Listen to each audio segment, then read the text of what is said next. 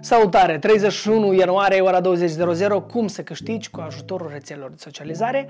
Mi spre Dumitru Ramazan și eu te invit la un webinar gratuit. Subiectul este strategia și direcția de dezvoltare pe profesii ca content manager, story maker, reels maker, AI manager, TikTok, publicitate, despre toate aceste gânduri, despre cum toate aceste abilități pot să te ajute să câștigi și cum piața noastră are nevoie azi de mii de specialiști, iar tu poți fi cel care o să iei locul și o să câștigi bani din asta.